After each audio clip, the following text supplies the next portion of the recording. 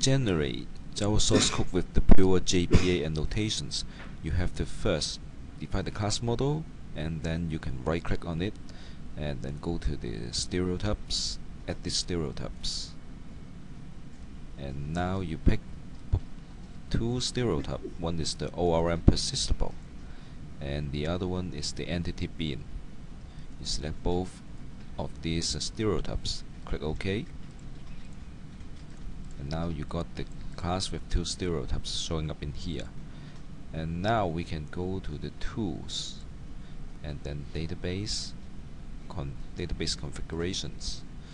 And now we select the target database that we are using. Suppose we are using a MySQL database.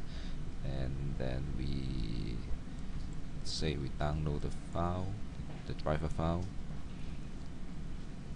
like this and define the connection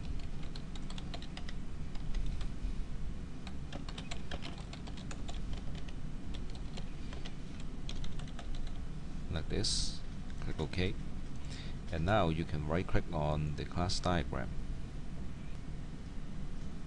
and select synchronize to the entity relationship diagram. Just use the default setting. Click OK. And now we got the entity.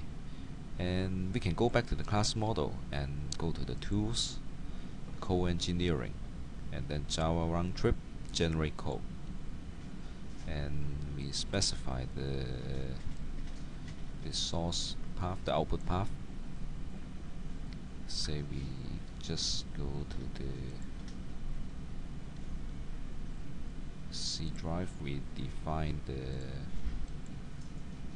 new folder, the source, like this, and then click OK. And now we switch to the source folder.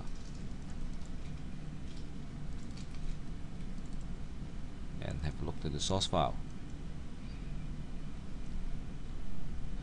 And now you see the class is generated with the pure JPA annotations